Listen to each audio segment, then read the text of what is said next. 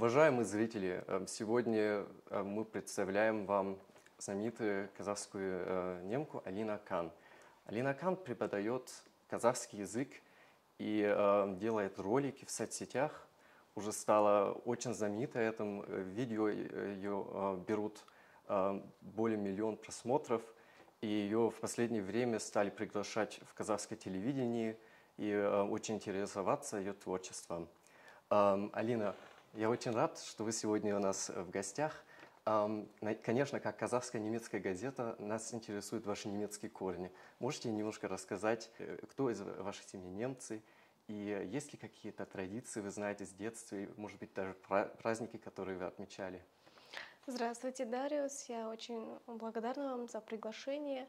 А, на самом деле у меня папа немец, мама русская, но а, так как я с отцом не поддерживала общение на протяжении 22 лет, а, так таковых корней, откуда они, их традиции, немецкие традиции, я не знаю, но всегда внутри в душе у меня было чувство, что я, я не русская, я немка, то есть я вижу ментальность русских, то есть как они живут, и я чувствовала, что я не их, я, то есть рядом с ними себя не чувствую как они.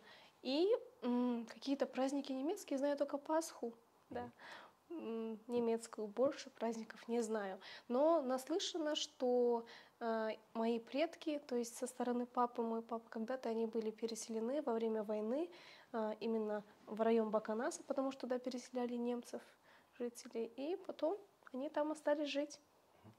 Так вы в семье только на русском общались в детстве, да? Да, только на русском. Потом очень интересно, как возник ваш интерес к казахскому? Как вы э, начинали любить, любить этот язык? Я, так как я выросла с дедушкой и бабушкой, моя мама очень рано покинула этот мир, и мы жили в ауле. Я помню, мне года 3-4 примерно, я вышла, и нужно как-то жить, как-то играть. Э, везде казахский язык. На тот момент не было телефонов, не было интернета, не было переводчиков. И у меня были два соседа, мальчики, мы ровесники, если так посудить. И они мне что-то говорили, я не понимала, что они мне говорят. Это происходило через забор, этот диалог. И я просто повторяла за ними. Они мне говорили, Алина, жирой наек. Я думаю, Алина, значит, они обращаются ко мне. Ну-ка я повторю, что они говорят. И я за ними жирой наек. И так я научилась именно правильному произношению. И далее уже а, визуально они мне показывали, например, это стул, это терезе, то есть как они, когда человеку показываешь и называешь предмет, ты быстро запоминаешь. И так я пошла а, в первый класс уже с каким-то маленьким словарным запасом. И я помню первый урок казахского языка, помню учительницу свою, и она начала объяснять, и у меня тогда возник интерес к казахскому языку. И с первого класса по одиннадцатый класс я полностью освоила грамматику, участвовала в разных олимпиадах республиканского уровня. Я любила именно казахский язык. Не скажу, что я другие предметы не любила, но интерес такой был к казахскому языку. А потом я хотела поступить в русскую группу, высшее учебное заведение. А, и в детстве мечтала быть преподавателем казахского.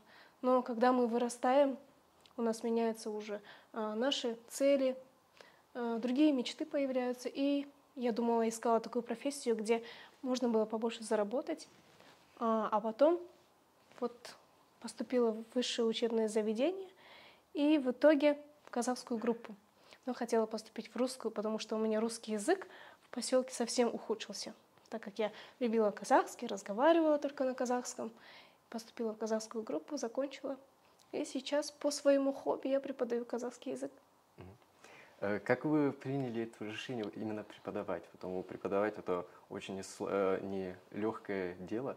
И как, что был этим э, толчком, когда вы сказали себе, я хочу именно преподавать его, и другим людям тоже показать этот прекрасный язык? Вы знаете, я думаю, на подсознательном уровне это было в классе четвертом, когда у меня поменялся учитель казахского языка. Он был, она была женщина, 26 лет, девушка молодая на тот момент, э, Гульжан Мухтаровна Асанбаева.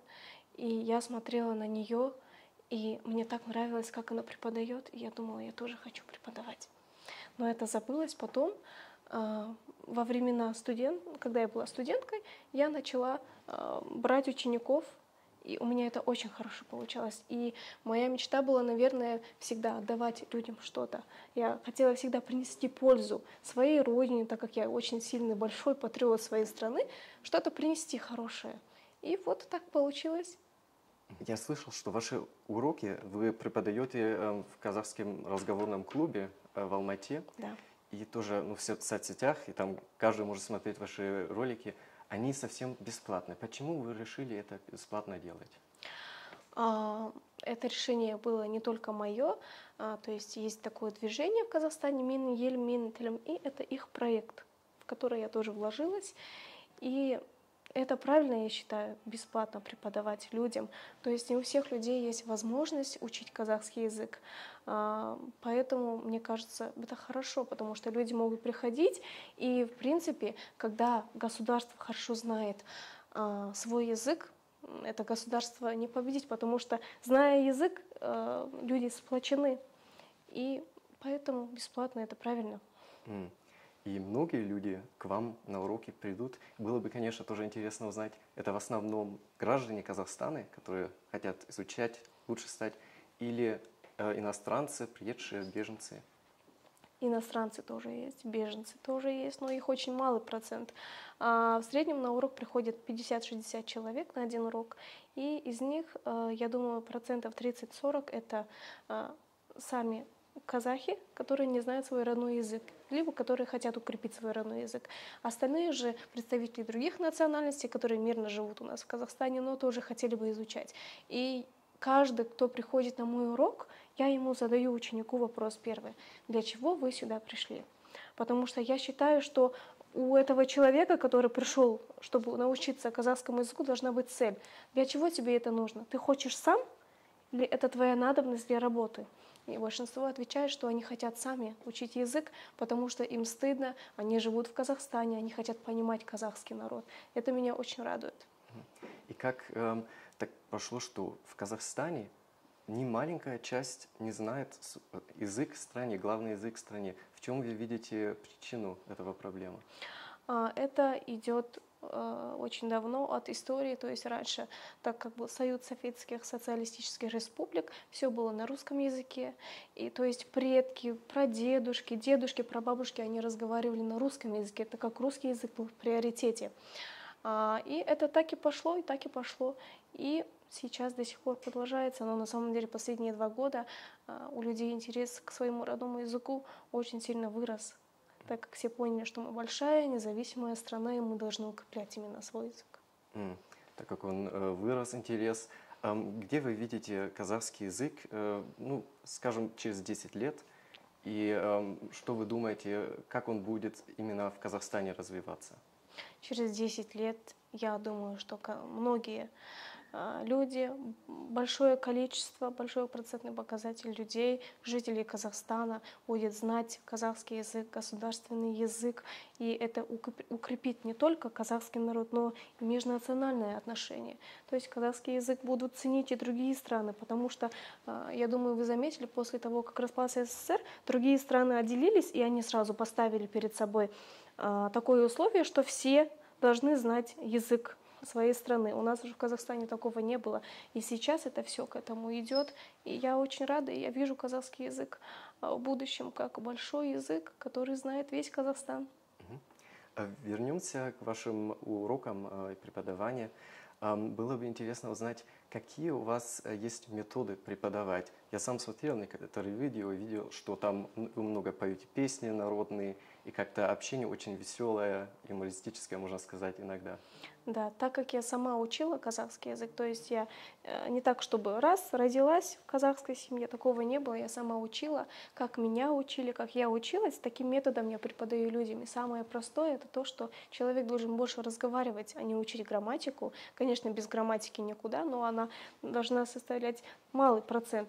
А больше человек должен разговаривать. Когда мы поем песни, а, мы слышим воспринимаем на слух язык, а писать и читать на языке, понимать его и воспринимать на слух – это две разные вещи. Поэтому мы поем песни, мы учим традиции, обычаи казахского народа.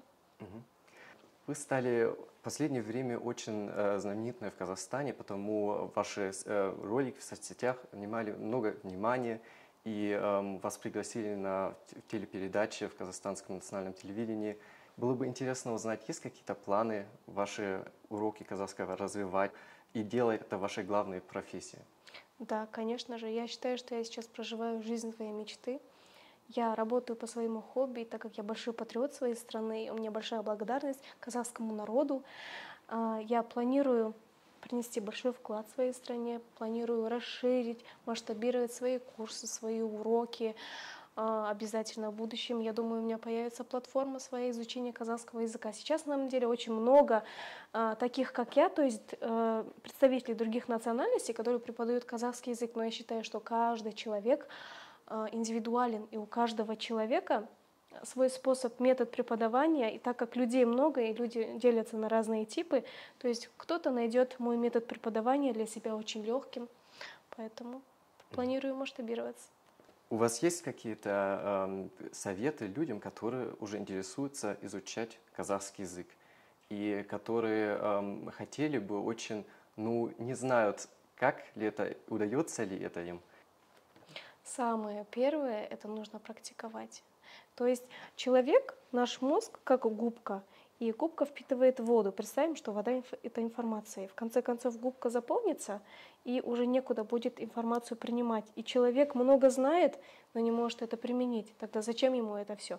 То есть нужно всегда прорабатывать а, это все. Например, ты сегодня выучил одну фразу, пойди в магазин, используй ее. Даже салимет сизбе. Просто иди и поздоровайся с кем-то ты должен барьер, который у тебя есть, преодолеть. И так далее, далее ты должен разговаривать. Тогда твоя губка уже будет циркулировать воду, и, соответственно, мы знаем, что вода высыхает, и это будет у нас откладываться очень хорошо в нашем мозге. Это самый главный совет. И слушайте, как другие говорят.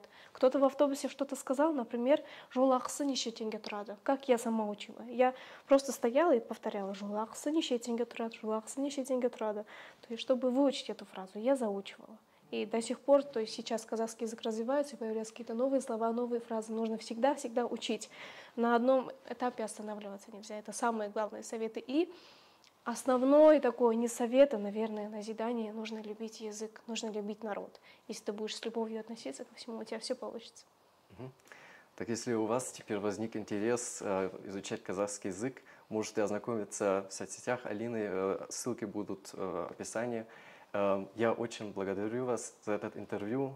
Желаю вам удачи, успеха в вашей работе. Э, Рахмет.